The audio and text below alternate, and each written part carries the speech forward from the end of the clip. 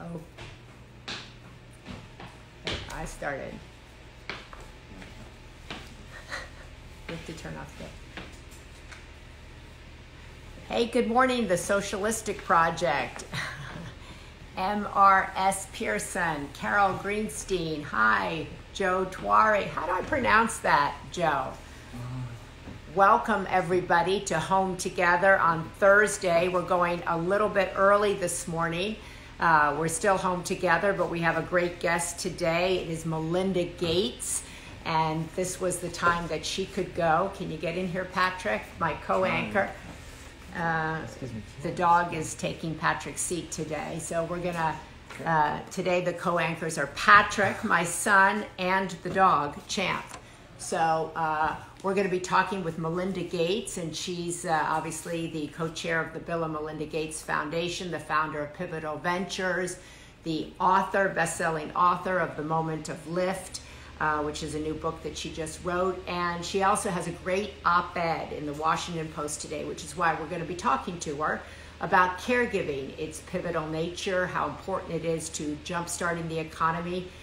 It's so critical to your generation and also my generation. So, and she also has a speech to graduates. Yeah, she just did a, uh, a commencement speech, I think a joint one with her husband on Friday last week uh-huh. and um, which was really, uh, I think, great that they kind of stepped up and, and you know wrote a speech and something for all the graduates to to listen to or, or get to read and. Um, you know they've been so active in the last few weeks, or I guess active always, I should say. Yeah. Um, with finding ways to step up, to help, to donate, to use resources, and um, I'm excited to talk to her. Yeah, they've spent almost close to $300 million wow. in the last two months uh, towards uh, COVID.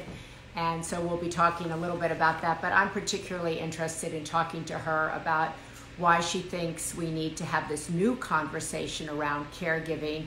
This is something that uh, I've been focused on writing about. Uh, thinking about trying to get people interested in caregiving is just one of those issues that um, somehow we have not made it a big national conversation. We've not been able to get everybody excited, and yet everybody seems to be involved with it. It's going to impact your generation uh, tremendously because both people are out in the workforce. Who's going to care for children? Who's caring for aging parents?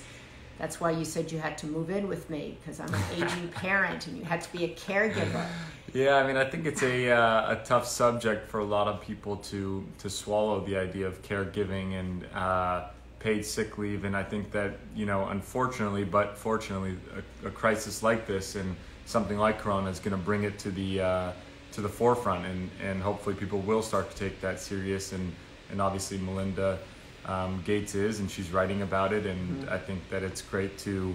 Um, you know, bring it up to the news and to to the vast majority of people because a lot of people are going to be going through that exact thing for the next, you know, however long. Right. This, you hear somebody lasts. says, "I care for my grandmother who's 84 years old."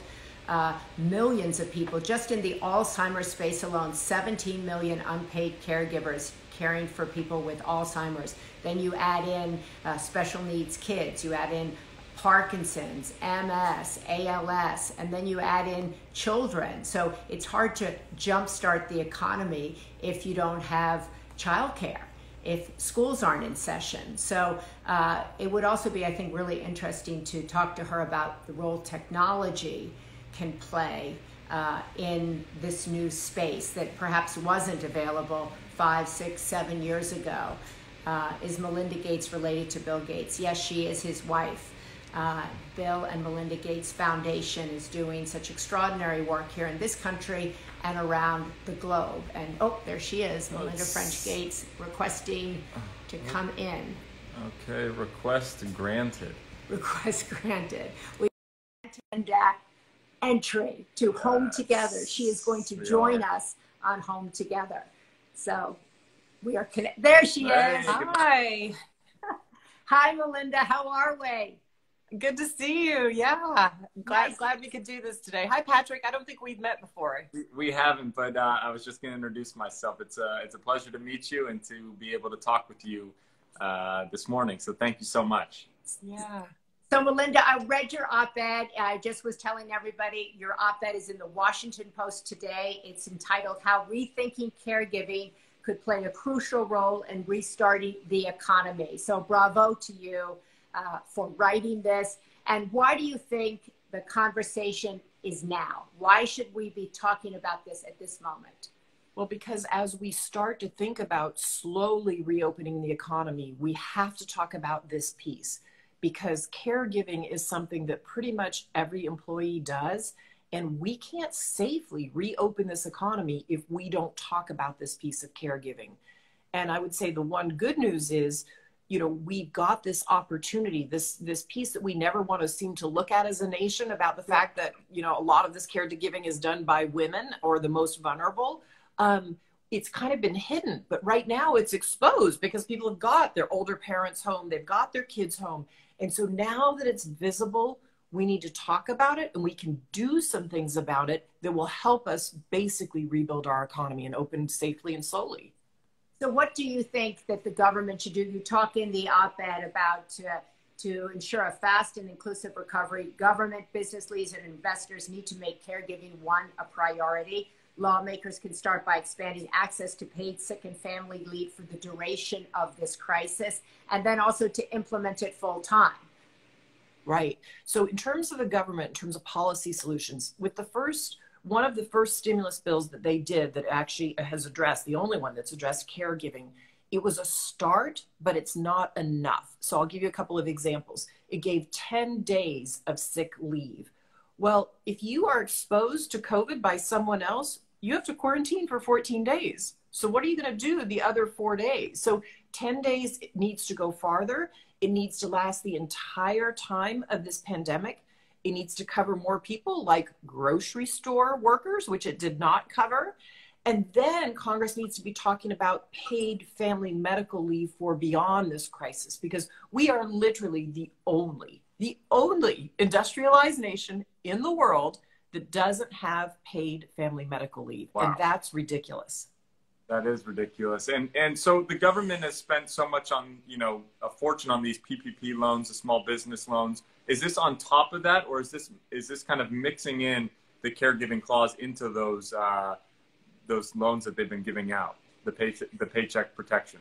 Yeah, it's not even it's not even mixing the two. It's taking the next stimulus bill and just putting this directly into it. You don't even have to tie it up in the loans. You just have to say this is what is right for caregiving. This is what's right for families because most of our families, most of our families who are employed also do caregiving and we need to protect them. A perfect example is our nurses. 85% of nurses are women and yet, women are talking a lot about how they're part of the sandwich generation. They've got older parents and they're caring for them now, and they're caring for these young kids. It's an impossible task.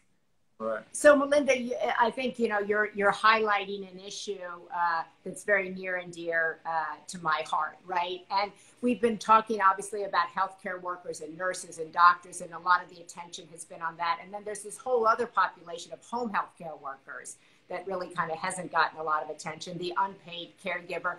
Why do you think? And I have found it really difficult to get people's attention to this issue. I don't know if it's the language we're using around it, or is it because it's primarily impacting women? What do you think is the reason that the nation has not wanted to look at caregiving? And, and number two, why do when we talk about reopening the country, we don't we say let's start the businesses, but there's no daycare for the people who go to work to send their children, and the schools aren't open. So is it really possible to open businesses without daycare? It's because as a country we got stuck in this old narrative of you know the generation the 1950s and 1960s where dad takes his briefcase and goes off to work and mom stays home and cares for the kids. We got stuck in that narrative. Instead of saying how do we really look at our workforce and say that most families where there are you know a dad and a mom or two people heading the household most families are now dual income so we haven't recognized what's actually happening, whereas the European nations have recognized that. So they put in paid family medical leave.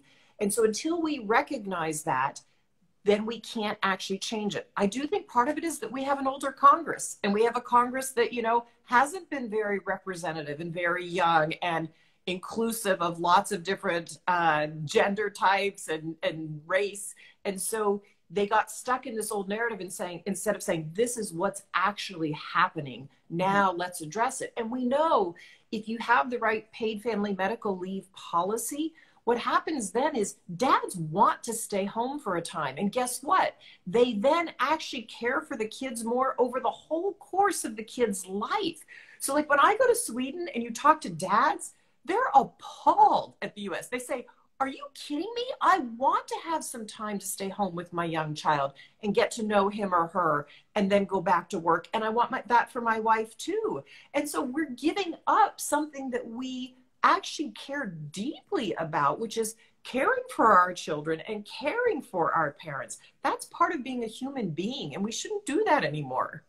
And how do, how do we get my generation to under, understand this fully? I mean, my mom talks so much about this, and I know that it's growing and growing how many of the younger generation is having to take care of their parents and their grandparents and having to work more and more, but yet it doesn't seem like a hot topic to a lot of people my age. So how, how do we draw them in to understand uh, what you're really talking about. Yeah, I'm so encouraged by your generation. I have lots of nieces and nephews who are essentially around the same age, I think, as you, Patrick. And what I'm seeing in their homes is they actually are having this conversation. When they get married or before they get married, they're talking about who's going to do what, how are we going to make this work, what are some things that we can bring in to, the, to make this work better in our in our home. So I'm encouraged by your generation. I also think of your generation as being the ones with the great new ideas and so we can invest as investors, we should invest in entrepreneurs. I just recently was talking with a couple of them last week who we've been investing in for a little while. This company I have called Pivotal Ventures. One of them is connecting seniors to college age students. It's a great job for a college age student to go pick up prescriptions, go pick up groceries wow. for a senior, um, connect with them online, either via phone or FaceTime or whatever, so that we help with the isolation um, there's another one get started by a young mom who is about all about how do you connect families to high quality childcare options in their community right now. Which places are still open, which places are doing the right safety practices, and which ones are high quality. So you can literally go online. So I think we need to move money to entrepreneurs who have great ideas around this, and we just haven't invested in it. Yeah, so that I was going to ask you, Melinda, how do you think technology can play a role in addressing this issue that perhaps wasn't even part of the conversation five years ago, 10 years ago? Yeah, we can look at this as a marketplace. So $4 trillion is what caregiving is. It's a $4 trillion market. So if we start to move money, I know I've met young people that have great ideas around this, even monitoring devices so their parents can stay in their homes and they can monitor their parents from afar, their heart rate, or if they take a fall, they know it immediately. It goes out to several people's numbers so that they can they can address it. So we got to we have to invest and bring these ideas forward because you know, I think about the seniors right now and the one, and most of them would like to stay in their home as long as they possibly can. It's good for them, but nobody wants to be isolated, right? So right. we can do things to break that cycle of isolation. And I think it's the young people that have the good ideas around that because many of them have grandparents that they love and care about. No, 100%. I think that it's so interesting to me that your, your venture is called Pivotal Ventures. And I think that right now, so many young entrepreneurs are are this is the first time really going through a crisis like this, right? And they're having to really pivot. So what what kind of advice would you give to these young entre- young entrepreneurs? I mean, there's so many opportunities. It's hard to see right now, but like you're saying, of connecting the caregivers, looking at this as a, a time to create those businesses. Yeah, I would say keep pushing forward. I would say um, there are places like Techstars that help with accelerators for teaching you how to start a business, how to find investors, how to look at these as marketplaces, which I think your generation actually sees. And I think having young um, entrepreneurs understand that these can be businesses, even though we've never seen them before, you right. are the ones that can look forward and see them and go, yes, there's an opportunity there. And guess what? Many, many, many people care about this. Yeah, because Patrick moved home together with me during this crisis because he was, quote, the only one in the family who had come home and, quote, take care of me because I was in this vulnerable population that I never thought I was vulnerable, right? But I think, you know, kind of this whole conversation now about who's vulnerable, who's not, what is aging, what are the responsibilities in a family. And I think also, doesn't the conversation have to shift from what is a family's responsibility to what is also a nation's responsibility? What is our collective responsibility for our larger family? Definitely. And it's why we need a paid family medical leave policy at the national level. We've got it in about eight states. Yeah. We need a national policy on this. And the other thing we can do is we can put pressure on businesses. I mean, one of the things I see Patrick's generation doing is when they take jobs, they're saying to their employees, we care about these issues. I want to have children one day. So, you know, what are your policies? Am I going to have um, credits for good childcare support? Am I going to have flexible hours? I think you're starting to see employees need more flexibility. We can create that at home. Some are saying, do you have on site childcare? And so I think we can all use our voices to push on this and say this is important, both from a policy perspective, a business perspective, and an investment so we can create the future that we want. Um, we're all part Absolutely. of creating this nation, and uh, it, it, we can do that. Absolutely, because certainly when I went into the workforce, I'm a little bit older than you, but you never would have asked for childcare credits. You never would have asked uh, about a maternity policy or family leave policy. You were just lucky to get a job, right? So the mm-hmm. conversation is completely different. And it was just assumed that when you had a kid, you'd kind of drop down and you'd go take care of it. It wasn't even a conversation that you'd have with your prospective spouse about are they where are they going to share. So the entire conversation has shifted. And that's something, as you said, that young people are talking about in a very different way, your generation. Right. And speaking of the young generation, you and your husband just wrote um, a commencement speech for a bunch of these graduates. And unfortunately, a lot of them can't, or actually, probably all of them won't have a, a formal graduation. Our brother, mm-hmm. well, my brother, her son, uh, Christopher, just had a Zoom graduation. And, and so, what are you telling all these new graduates that thought they were going into a bull market, one of the best job um, you know, eras ever, and and now they're going into you know graduating right into the epicenter of this of this uh, you know crisis. Crisis. Yeah. My heart goes out to seniors graduating right now. It's hard to not have that moment of celebration because they've worked so hard to get to that place. Their families have worked hard to get to that to that place of graduation. But what I want to say to all college graduates, if you have graduated from college, you're lucky. You're lucky I mean, you have skills that you can use and you can give back and you will find a job. It's it's very different than somebody that only has a high school degree or doesn't even have a high school degree. I mean, we're seeing these unemployment numbers rise. Those are the families that are struggling to put meals on the table. And they're the ones that retooling is not as easy. So if you have a college degree, what I want to say to you is there will still be opportunities and think about not just that job, but think about how you're going to change the nation and think about how you're going to help the most vulnerable who we're all going to be affected by this. Let's be honest, the next decade ahead looks different. But how do you use your skills, not just in your employment opportunity, but to change and create the world that you want us to live in that supports everybody in this nation? Melinda, you and your husband have given, I think it's close to $300 million in the last couple of months to fight COVID. And I think your husband said, you know, kind of, we're not going to, until we get a vaccine, we're not going to really be fully open. How far out do you think that is? I think it's 12 to 18 months. Um, and I think that, you know, it, these things take time. You have to go through all of those safety and efficacy trials to know that what we're putting in our body isn't going to create more harm. Um, some of those places can be sped up a bit, and believe me, everybody's doing that and looking at it. But you know, these things take time. So I think in the meantime, we have to talk about okay, what tools do we have? Testing, contact tracing, social isolation, masks. We have to keep doing all the right things so that slowly we can reopen parts of the economy, but do it in a very safe um, way. Are you hopeful? Uh, you know, most people I talk to talk about feeling a little bit hopeless, helpless, scared, anxious for themselves, for their children.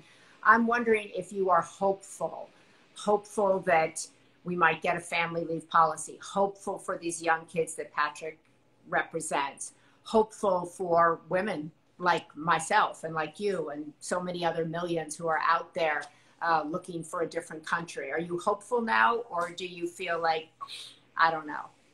I'm hopeful because I see people using their voices and I see people speaking up for the right things.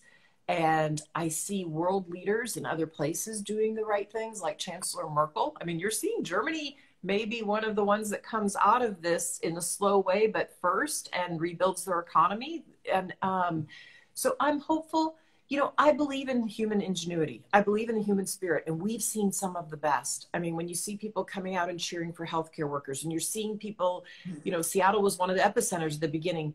It was blank. We live in a place where I can see a bridge. People weren't even going across, we're not going across the bridge. They were staying home.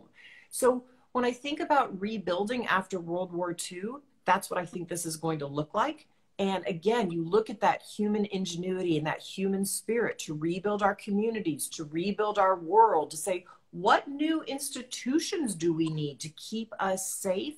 I believe that we will do that. And I believe it's going to be the leaders who already have those positions and voters holding them to task. And I believe it's going to be Patrick's generation that helps us with this rebuilding and reimagining what our economy can look like and what our world can look like.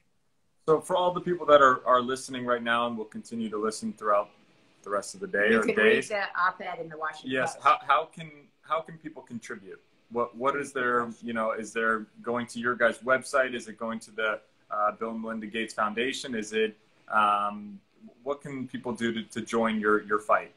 It is in terms of caregiving it's reaching out to your senator to your congressperson writing them writing their office. It's the business if you're part of if you have an employer saying what you expect. And it's using your voice in this election as we run up to this election to say what do we expect from american leaders? What what's going well and what's not going well? And let's hold our leaders to task and say we want to rebuild something different than we have right now. Our system is not serving us well.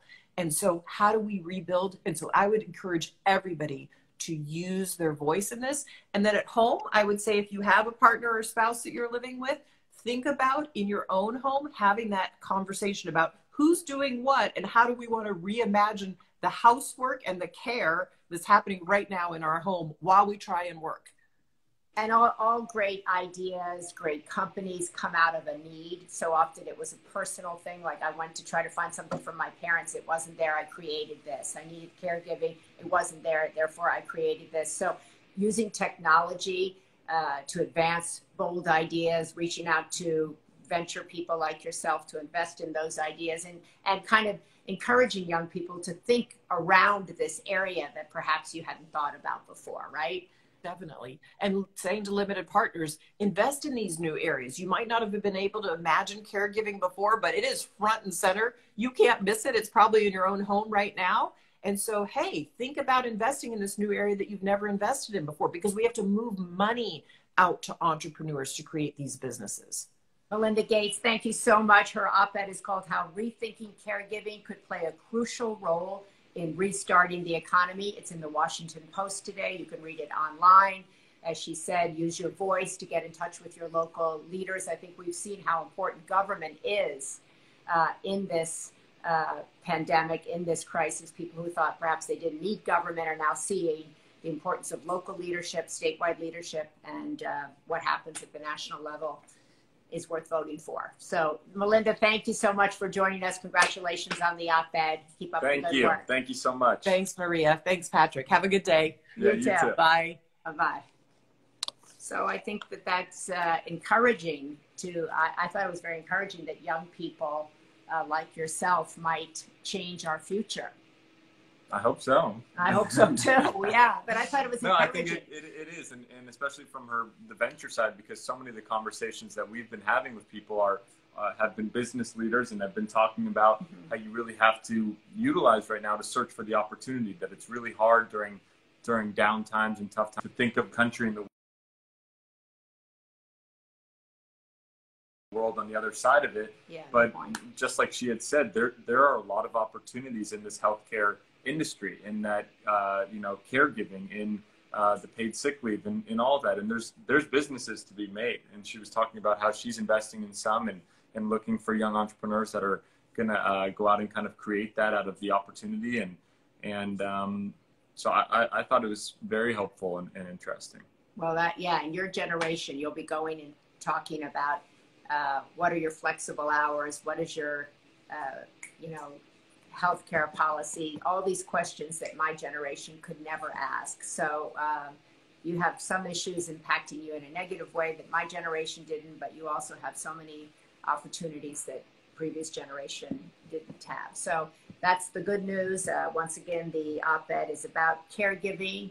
Um, if you have a venture, hit her up at Pivotal Ventures and uh, see if she uh, funds your venture in this space of caregiving, family leave, connecting young people to seniors, and so on. So I uh, want to thank you all for joining us on Home Together today. We love being home together. Uh, for many of you, your state is beginning to open, reopen. So go forth uh, by guarding your health, wear a mask, uh, continue to wash your hands. And for those of you who are still at home together, uh, we'll still be here. Uh, we're doing our part, waiting for our governor to tell us whether we can go back out. Yeah, tomorrow they start phase one. Phase one here um, in California. And, uh, you know, opening some florists' shops and uh, sporting goods and but places. No, no hairdressers. No hairdressers. No hairdressers no, as yet, you can so tell with my hair. I'm going to be Rapunzel by the time this is over. so anyway, we want to thank you so much. Thank Melinda Gates, and you have a great day wherever you are. And I will be on the Women's Alzheimer's Movement channel later this afternoon, three o'clock West Coast time, talking to Dan Buettner, the author of the Blue Zones uh, cookbook challenge, Blue Zones. Uh, uh, finding the blue zone. So if you're interested in how to live to 100, how to be healthy wow. until 100, how to live on your own, uh, please go over to the Women's Alzheimer's Movement at 3 o'clock. It's called WHAM. And I'll be talking with the Blue Zone's Dan Buettner. And his book is extraordinary, and all his information is extraordinary. Well, thank you, everybody. I'm Patrick Schwarzenegger. And I'm Maria Shriver. And that was another Home Together, and we will see you all tomorrow. Have Bye. a great day.